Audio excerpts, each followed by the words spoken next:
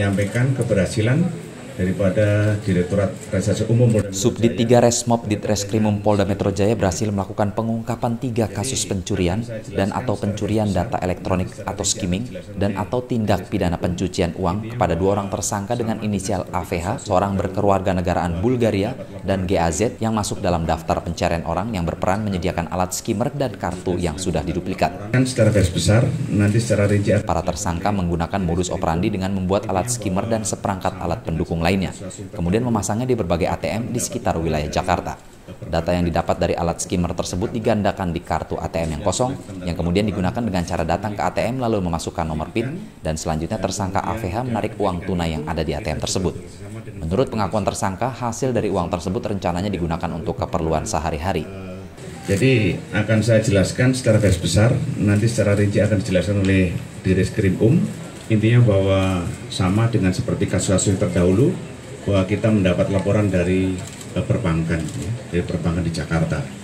Jadi kemudian setelah kita mendapatkan laporan, kita melaksanakan penyelidikan. ya. Penyelidikan, dan kemudian dalam penyelidikan itu kita juga bekerjasama dengan Bank Indonesia. Ikut sama-sama, jadi biar mengetahui bagaimana eh, di lapangan seperti apa kesulitannya anggota di lapangan. Jadi biar dari pihak Bank Indonesia juga mengetahui seperti apa. Jadi kita berhasil daripada penyelidikan kita bisa menangkap pelaku dari di Jogja dan di Jakarta. Itu di situ, Jogja dan Jakarta. Jadi intinya bahwa pelaku ini adalah dari luar negeri juga.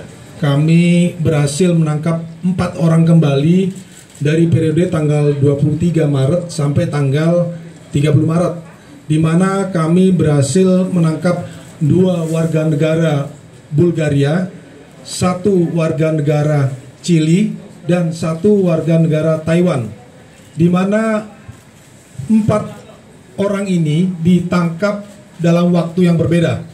Yang pertama warga negara Bulgaria pada tanggal 23 kami tangkap dengan TKP di Kebon Siri di mana yang bersangkutan eh, menggunakan ATM yang sudah kami deteksi ternyata ATM ini eh, sudah siap digunakan dan ATM ini sudah berisi data-data dari nasabah yang sudah diambil dengan memasang alat eh, skimmer ini. Kedua tersangka dijerat tindak pidana pencurian data elektronik dan tindak pidana pencucian uang sebagaimana dimaksud dalam pasal 363 KUHP dan atau pasal 46 Junto pasal 30 dan pasal 47 Junto pasal 31 ayat 1 dan 2 Undang-Undang Republik Indonesia nomor 19 tahun 2016 atas perubahan Undang-Undang Republik Indonesia nomor 11 tahun 2008 tentang IT dan atau pasal 3, 4 dan 5 Undang-Undang Republik Indonesia nomor 8 tahun 2010 tentang tindak pidana pencucian uang.